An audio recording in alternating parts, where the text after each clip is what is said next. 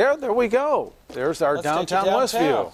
Yeah, yeah where uh, we have no dust storms, No, we rain that don't. we've got to worry about. No, it's it's uh, calm out there. Pretty nice night. We had a nice evening, uh, a little bit of sunshine finally breaking out, and uh, it looks like we'll see a little bit of sun tomorrow. That may help fuel some more storms. But though, not so- going to wash out the No. barbecue plans? It's not a washout. You'll get those in, I think. Just uh, going to have to keep an eye on the sky for us. Things are mild out there this evening with the quiet conditions. We have low to mid 70s on the map 74 in Indianapolis and Terre Haute. It's 75 in Columbus.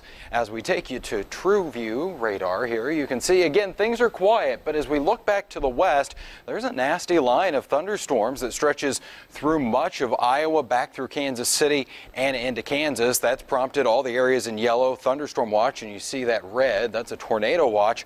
This system will be heading our way, but it's going to be a little while before we get in on some rain. We can't rule out a shower or thunderstorm starting off by the mid morning, but I think this is going to be on a very isolated basis for us. As we go into the afternoon, you notice a little bit of sunshine, some clouds rolling through, but rain still very limited as we go through the bulk of the day. Then by 5:30 in the evening, some of those thunderstorms around Kokomo toward Clinton, back around Crawfordsville and Brownsburg. So we'll see a few of those storms start to get going into the afternoon. A little bit of a question how much of a lull we're going to get here around midnight and then have more storms roll in. So you'll want to get an update with Todd Klaassen tomorrow morning on Good Morning Indiana starting at 4:30 on the timing here.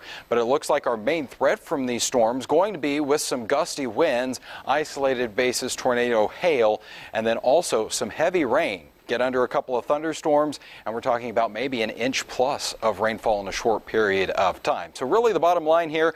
The better, uh, earlier you can get in your barbecue, the better off you're going to be throughout the day. 77 degrees at noon with a breezy south wind. Spotty storm as we go into the afternoon, and those rain chances about 30% by 6 o'clock in the evening.